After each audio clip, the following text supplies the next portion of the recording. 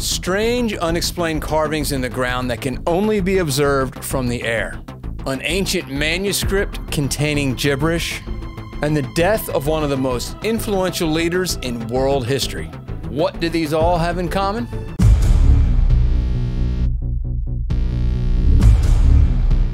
We've all heard the old adage those who do not learn from history are doomed to repeat it.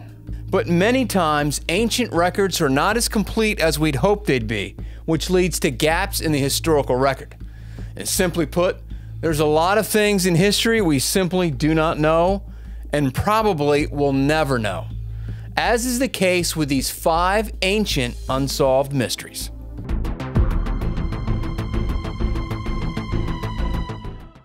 The Nazca lines were first mentioned in a book published in 1553 where they were described as trail markers. Although visible from nearby hills, it wasn't until 1927, when aircraft spotted them, that humans were able to observe them in their entirety. They are located in southern Peru and are believed to have been created between 500 BC and 500 AD. And while some of the lines are just that, lines, many depict a variety of living creatures stylized plants, and imaginary beings, as well as geometric figures several miles long. And how they were made is pretty simple. By churning up the top layer of sand, it exposed a different colored sand underneath. And while the method of construction is simple, they certainly were not made by a group of drunken teenagers after a night of boozing it up in the woods. The longest continuous line is over 1,200 feet long, and with some of the designs being very intricate for the time, there was clearly a well thought out and concerted effort made to create them. And certainly, many people were involved in it. But you wouldn't expect them to last as long as they have. And some are well over 2,000 years old. And the reason is one of the things that makes them so intriguing. You see, that region of the world has a very unique climate. There is no wind or rain or any kind of natural erosion to disturb them. Think the moon and the astronauts' footprints that 50 years later have still gone undisturbed. So, unless they are disturbed by a human or an animal, they could potentially remain intact for another 2,000 years. That's more than I can say for us. Probably the biggest mystery of the Nazca lines is why they were made in the first place, and opinions vary among scholars and historians. Some believe they were created to be seen by a deity, while others believe their purpose is to be seen by travelers from another planet. Two more plausible reasons are that they have some type of relevance to the agriculture calendar or as indicators of sacred routes between Nazca settlements. Me personally, I like the alien theory.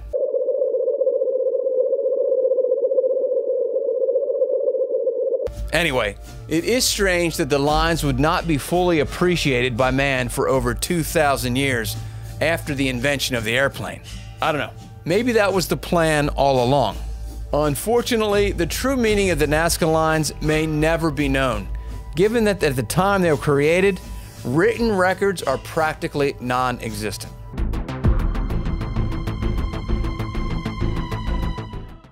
From Peru, we head to the Atlantic Ocean. It's December 1872, and the Canadian ship named the Dei Gratia has set sail for the British port of Gibraltar. A member of the crew reports that he sees a ship sailing straight for them. The unknown vessel was moving erratically and its sails were not set in the correct position. And nobody could be seen on her deck. It was obvious that something was wrong. The captain of the Canadian ship, David Morehouse, who recognized the adrift ship as the Mary Celeste, sent his first mate, Oliver Deveau, to board it and to investigate what was going on. Once on board, Deveau found no signs of her crew or her captain, Benjamin Spooner Briggs, his wife, or their two year old daughter. Also missing was the ship's lifeboat. And strangest of all was the fact that the ship was found to be in seaworthy condition, leaving no obvious reason why she would be abandoned. And not only was the ship seaworthy, but there was enough food and water aboard to last six months. And the ship's sextant, chronometer, and navigation book were all missing, as well as the ship's register, which seemed to suggest an orderly abandonment. The ship's logbook, however, was left behind with a final entry of 8 a.m. on the 25th of November. And since she was abandoned and left adrift at sea, Captain Morehouse decided to tow the Mary Celeste to port to be salvaged. And after a hearing, the captain and her crew were awarded 1,700 pounds for the ship. The discovery of the Mary Celeste sparked a three month investigation by the British Vice Admiralty Court in Gibraltar. The investigation tested various theories, including piracy, mutiny, and sea monsters. sea monsters. How I wish that one was true. Unfortunately, like the other theories tested, it couldn't be proven conclusively. The true fate of the Mary Celeste's crew remains one of the greatest maritime mysteries of all time. And clearly, you would not abandon a ship unless you thought it was in danger of sinking. But by what means? Over the years, several theories have been proposed to explain the mystery of the Mary Celeste.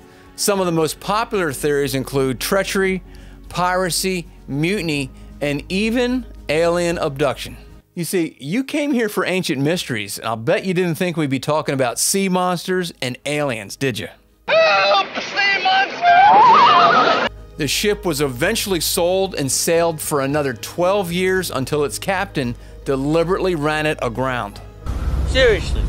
Despite nearly 130 years of research, maritime historians still don't know what became of the ship's crew on that fateful 1872 voyage, an uncertainty that makes the fate of the Mary Celeste one of the most fascinating unsolved mysteries of our time.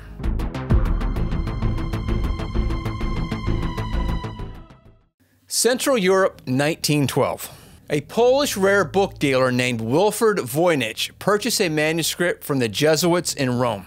The manuscript was originally in the possession of a cash strapped library in Rome who sold some of their books to the Vatican but not all made it there to include this one. The manuscript contains bizarre drawings of esoteric plants, naked women, and astrological symbols. Well, that's weird. Yeah, tell me about it. It had no title or author named, but the biggest mystery was the fact that it was written in an unknown language. The writings in the manuscript appeared to its new owner to be nothing more than gibberish. And for over two decades, Voynich tried to get scholars interested in the manuscript in an effort to decipher its meaning. And the few that did show some interest were unsuccessful. And in 1930, Wilfrid Voynich died without ever finding out its meaning. But that's not the end of the story.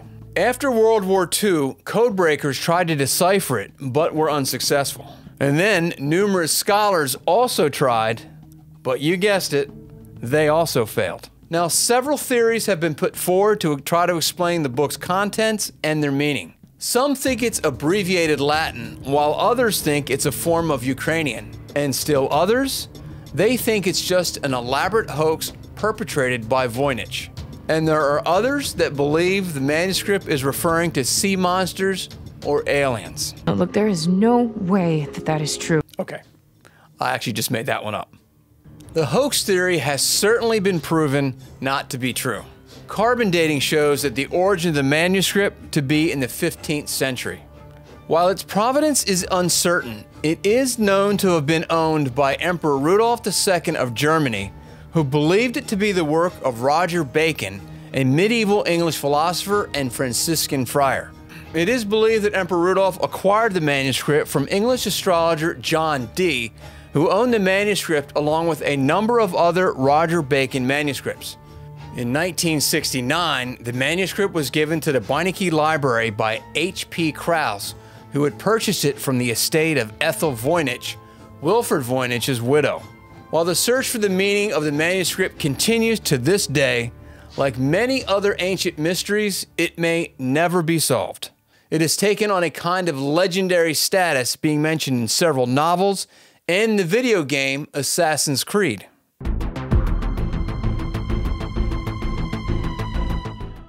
Cyrus the Great was known as a military genius and the founder of the First Persian Empire, which at the time was the largest empire in the world. He's also one of the most prominent figures in world history and is mentioned in several books of the Bible.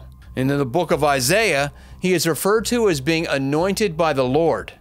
Yeah, I'd say that's pretty great. In the biblical accounts of Cyrus, he is portrayed as a wise and just ruler who respected the religious beliefs and practices of his subjects.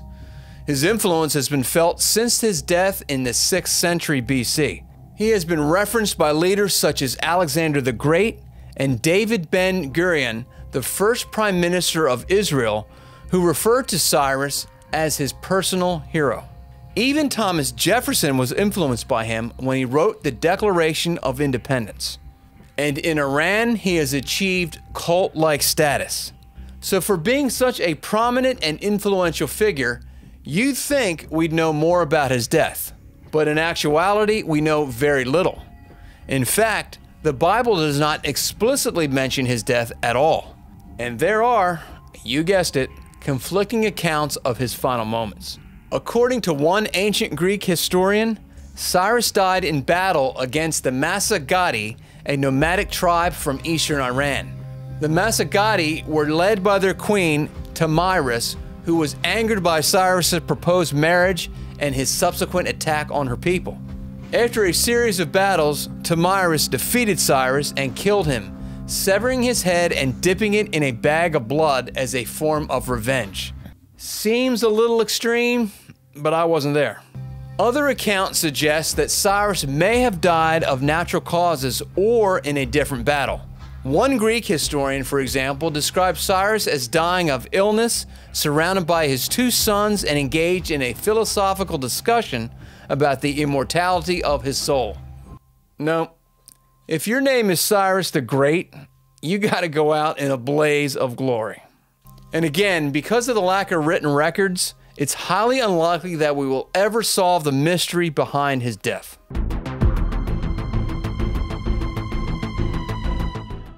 From one revered world leader to the man who is probably the greatest conqueror the world has ever known, Genghis Khan.